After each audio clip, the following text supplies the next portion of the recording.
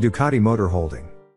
Ducati Motor Holding SPA is the motorcycle manufacturing division of Italian company Ducati, headquartered in Bologna, Italy.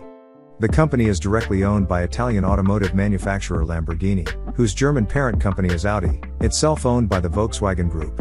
In 1926 Antonio Cavalieri Ducati and his three sons, Adriano, Marcello, and Bruno, founded Società Scientifica Radio Brevetti Ducati in Bologna to produce vacuum tubes, condensers and other radio components.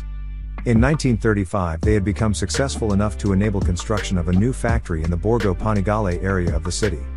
Production was maintained during World War II, despite the Ducati factory being a repeated target of Allied bombing. It was finally destroyed by around 40 consolidated B-24 Liberators on October 12, 1944 as part of the United States Army Air Forces' Operation Pancake, which involved some 700 aircraft flying from airfields in the province of Foggia. Ducati Factory Ducati Cucciolo, 1950. Meanwhile, at the small Turinese firm SIATA, Aldo Farinelli began developing a small pushrod engine for mounting on bicycles.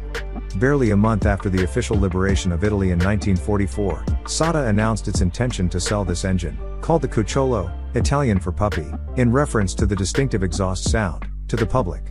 The first Cucciolos were available alone, to be mounted on standard bicycles, by the buyer, however, businessmen soon bought the little engines in quantity, and offered complete motorized bicycle units for sale.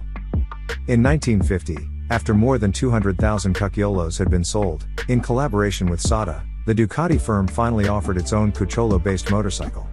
This first Ducati motorcycle was a 48cc bike weighing 98 pounds, 44 kilograms, with a top speed of 40 miles per hour, 64 kilometers per hour, and had a 15 millimeters carburetor giving just under 200 miles per gallon US. Ducati soon dropped the Cucciolo name in favor of 55M and TL65. Ducati Mach 1. When the market moved toward larger motorcycles, Ducati management decided to respond, making an impression at an early 1952 Milan show, introducing their 65 TS cycle and cruiser.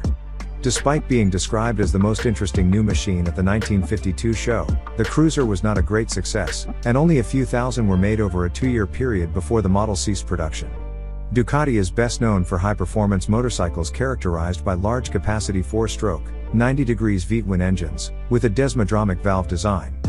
Ducati branded his configuration as L-twin because one cylinder is vertical while the other is horizontal, making it look like a letter L. Ducati's desmodromic valve design is nearing its 50th year of use.